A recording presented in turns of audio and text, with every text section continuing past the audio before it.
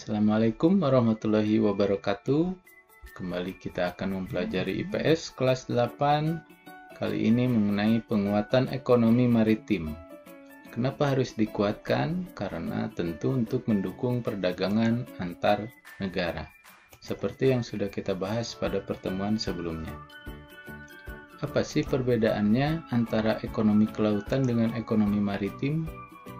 Ekonomi kelautan adalah kegiatan ekonomi yang menggunakan sumber daya dan jasa di lingkungan laut. Sedangkan ekonomi maritim lebih fokus pada kegiatan transportasi lautnya. Itu bedanya.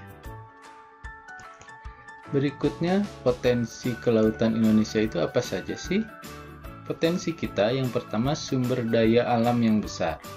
Kita tahu bahwa 2 per 3 dari Indonesia adalah merupakan laut itu sumber daya alamnya banyak sekali. Yang kedua adalah letaknya yang strategis di persilangan antara Samudra Pasifik dan juga Samudra Hindia.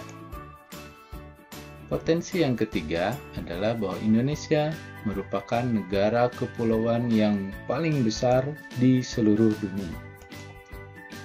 Pengelolaan sektor kelautan belum digarap dengan penuh perhatian sebagai gambaran bahwa sebagian besar nelayan Indonesia masih bergelut dengan kemiskinan. Yang kedua adalah daya saing domestik yang lemah. Di Indonesia, transportasi laut dan eksploitasi sumber daya mineral di wilayah perairan Indonesia justru lebih banyak dilakukan oleh pihak asing. Yang ketiga adalah kekalahan dalam kompetisi ekonomi berbasis maritim ini adalah PR kita untuk kembali memperbaiki kualitas kita. Bagaimana tujuan pembangunan di bidang kelautan? Yang pertama adalah untuk pertumbuhan ekonomi tinggi secara berkelanjutan. Yang kedua adalah peningkatan kesejahteraan seluruh pelaku usaha. Jadi tidak hanya pengusaha besar, tapi nelayan pun harus disejahterakan. Yang ketiga adalah terpeliharanya kelestarian lingkungan dan sumber daya kelautan. Jadi tidak hanya diambil sumber daya alamnya, tapi laut juga harus terlestarikan. Yang keempat adalah menjadikan laut sebagai pemersatu bangsa. Jadi bukan pemisah, laut adalah pemersatu bangsa kita akan bicara mengenai kondisi ekonomi maritim di Indonesia. Yang pertama kita lihat dari sektor pelayaran Indonesia. Bahwa pangsa muatan armada kapal nasional masih rendah. Belum begitu banyak orang Indonesia yang menjadikan eh, transportasi laut sebagai sarana transportasi utama. Berikutnya industri galangan kapal pun belum begitu berkembang Begitu juga dengan sistem pelabuhan. Kita hanya menjadi cabang dari pelabuhan luar negeri, belum begitu mandiri. Berikutnya adalah daya saing sumber daya manusia di sektor pelayaran masih rendah. Berikutnya dari sektor perikanan, tentu Indonesia punya potensi yang sangat besar, mengingat begitu luasnya laut kita tapi sayangnya kontribusi sektor perikanan terhadap pendapatan nasional masih rendah. Selain itu, pertambahan kawasan budidaya perikanan masih sangat kurang. Berikutnya kita lihat sektor pariwisata kita.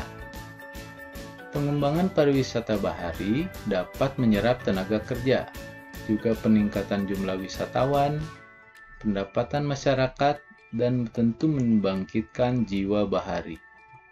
Tapi kembali, pariwisata bahari kita juga belum berkembang dengan baik. Bagaimana strategi dan kebijakan pengembangan ekonomi maritim di negara kita? Yang pertama, perubahan paradigma pembangunan nasional dari pembangunan berbasis daratan menjadi pembangunan berbasis kelautan. Jadi pembangunan kita tidak hanya terfokus pada daratan, untuk berikutnya, kita akan fokuskan pada kelautan juga, agar sama-sama maju.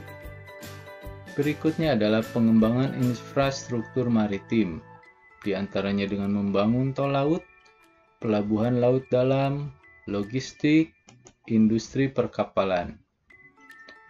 Dalam rangka menyambut ASEAN Connectivity, kita pun menyiapkan pelabuhan-pelabuhan besar dengan harapan antar negara ASEAN menjadi semakin bersatu.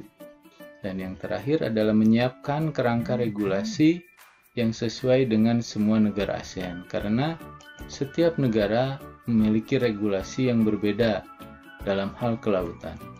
Dan tentu yang terakhir sekali adalah pemberdayaan nelayan karena merekalah ujung tombak dari ekonomi maritim di Indonesia.